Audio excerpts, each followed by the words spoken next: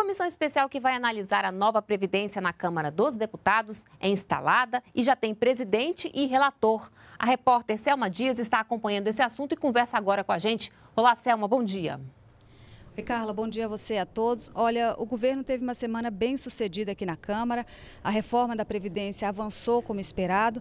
A comissão especial que vai discutir ali o conteúdo da, da proposta foi instalada, né, já está pronta para funcionar. E aí essa comissão tem presidente e relator. A presidência ficou com o deputado Marcelo Ramos, do PR, que tem a função ali de comandar os trabalhos, e a relatoria com o deputado Samuel Moreira, que é do PSTB, com a função de apresentar um parecer ali já com sugestões de mudanças. A próxima reunião dessa comissão especial ficou marcada para o dia 7, depois do feriado.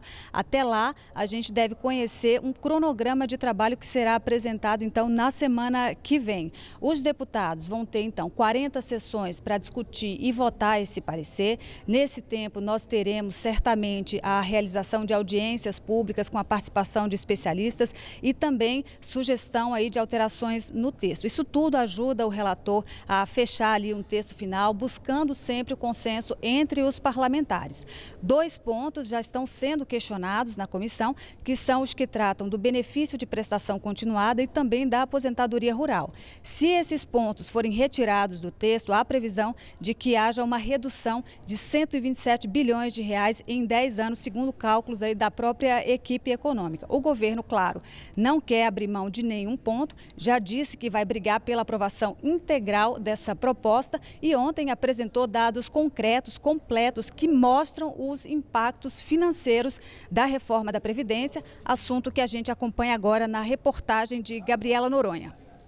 Se a proposta enviada pelo governo for aprovada como está, a economia deve chegar a 1,23 trilhão de reais em 10 anos. O número é 15% maior que o divulgado inicialmente quando o texto da proposta de emenda à Constituição foi apresentado ao Congresso Nacional em fevereiro. Por isso, o secretário especial da Previdência defende a aprovação integral do texto. Nós estamos propondo um projeto de 1 trilhão 236 bilhões de reais. Esse projeto nós vamos defender. Nós acreditamos que quanto maior o impacto fiscal, maior a capacidade do governo de resolutividade no sentido de fazer os investimentos necessários para alcançar o conjunto da sociedade brasileira. Rogério Marinho chamou a atenção para o fato de ser a primeira vez em 20 anos que o governo divulga os dados que embasaram o cálculo da economia obtida com cada item da reforma, antes da discussão do mérito da matéria. Nós queremos uma discussão transparente, cristalina, em que a sociedade possa acompanhar.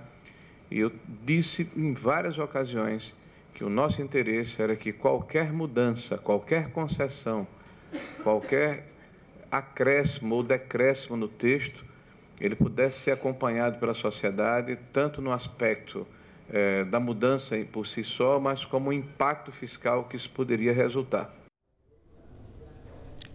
Olha, dá para ver que vem muita negociação por aí nos próximos meses entre o Executivo e o Legislativo. Volto com você, Carla. Um bom fim de semana a todos. Obrigada. A gente segue então acompanhando esse assunto. Muito obrigada. Bom fim de semana para você também.